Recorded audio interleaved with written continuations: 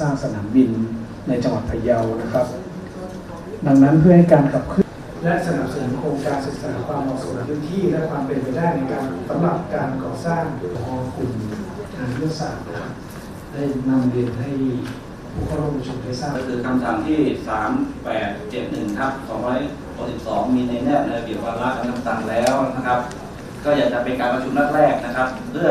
ประกอบด้วยส่วนราชการใดบ้างนะครับ ใครเป็นประธานประมาณที่แล้วนะครับประมาณปลายปีนะครับท่านผู้การจังหวัดนะครับท่านปัจจุบันนะครับท่านได้ใช้ประโยชน์เรื่องความรู้เพื่อทางเศรษฐกิจมหารือภายในที่ห้องผู้ว่าการจังหวัดนะครับ เรื่องการศึกษาความเหมาะสมของพื้นที่ในการสร้างสนามนะครับว่า การก่อสร้างสนามบินนะครับ ไม่ว่าจะที่ไหนที่อยู่ในพื้นที่จังหวัดที่สามแปดเจ็ดหนึ่งครับสองร้อยหกสิบสองนะครับผมขออนุญาตได้ลงรายอธิบายองค์ประกอบโครงสร้างและอนุมัติแล้วนะครับ ท่านใดที่อยู่ในคณะกรรมการอำนวยการนะครับ กรรมการขับเคลื่อนและสนับสนุนโครงการศึกษาคมนะครับผู้มีการถึงงานยุทธศาสตร์นะครับ เป็นกรรมการและผู้ช่วยเลขานุการในชุดการศึกษาความเหมาะสมของพื้นที่ความเป็นไปได้สำหรับการก่อสร้างสนามบินในแต่ละด้านนะครับข้อที่เป็นที่หนึ่งนะครับ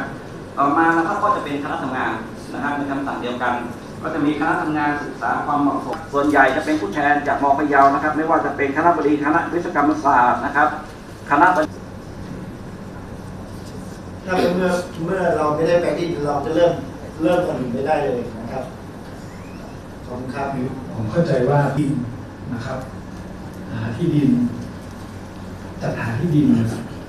แล้วก็รวมถึงที่เจ้าท่านพูดในเรื่องการใช้ที่ดินและความเหมาะซึ่งได้ศึกษาเบื้องต้น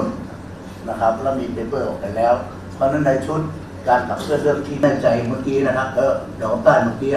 ที่ท่านนายอำเภอบอกเนี่ย เราตอนนี้มันง่ายแล้ว ไปเอา GPS จากแป๊บ